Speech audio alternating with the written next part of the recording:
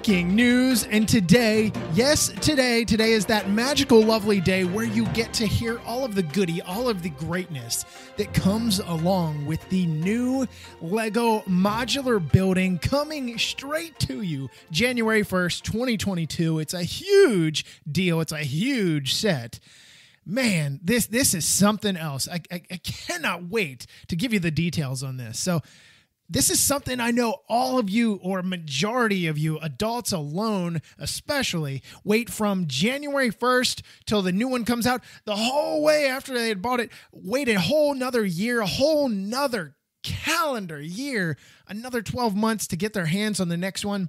And you will not be disappointed by this. This looks awesome. It is called the Lego Boutique Hotel. 10297 will be its set number forever and ever and ever until it goes into retirement and you punch it into Brickset or in Bricklink in 10 years you're like man I, I wish i wouldn't have missed out at that in the beginning you know? Anyway so here's what this thing has to offer. It is an 18 plus set obviously. Price tag on this is actually not uh, isn't really not too bad. So let, us talk about height and uh, width and stuff like that. Your height around 39 centimeters your width about 25 centimeters, your depth 25 centimeters. We know what the depth is. I mean, just think of the base plate and stuff like that that's going on. But it, it does have decent size to it. It does look uh, really, really sharp in, in regard to that. It comes with 3,066 pieces. It's a good good number for a, a modular of this size and the price tag is going to be 200 US, 200 euros, and 180 in pounds. And yeah, I mean it, it's a it's a massive deal. It's a huge set.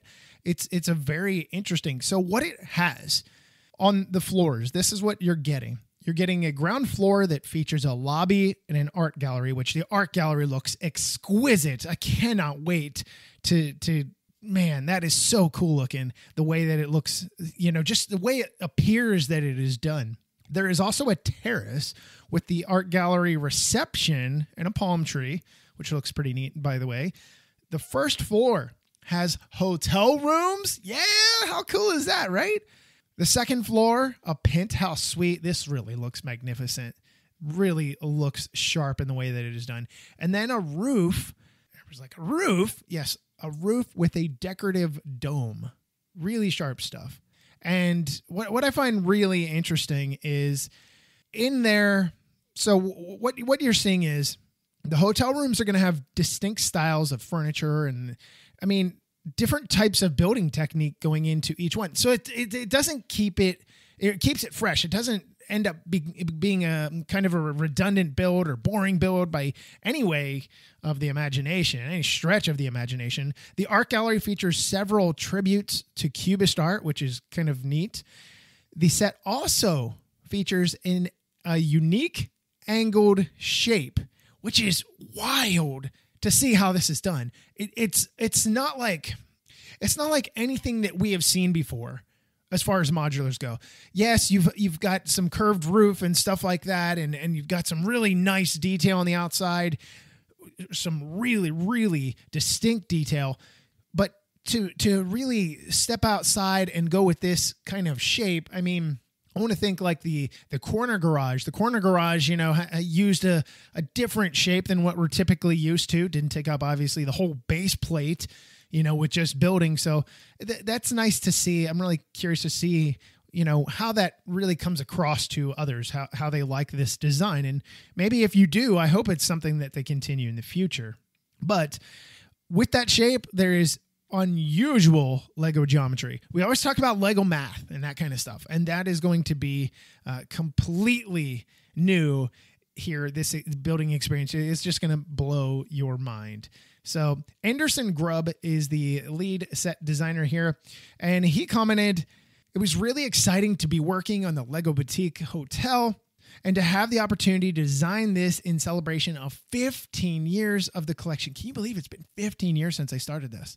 When we approach the design for a modular building, we are conscious of the previous sets and therefore want to create something that is new that really complements the collection.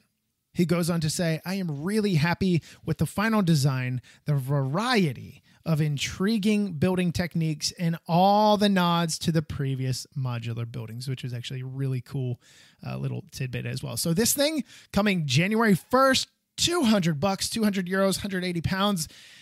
Get your pennies ready. I, I told you and you you always know at the beginning of the year it just gets wild and crazy. But I told you there was something coming that you needed to brace for and start saving. One of those was the ATAT. Now you've got something like this. You're not into Star Wars. You got to be into the modulars. They're just too awesome. So with that said, this is going to wrap up the breaking news segment. But here's what I need you to do.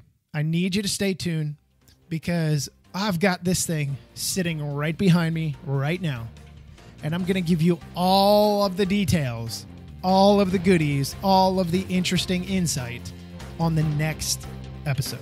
So until then, I'll talk to you guys next time.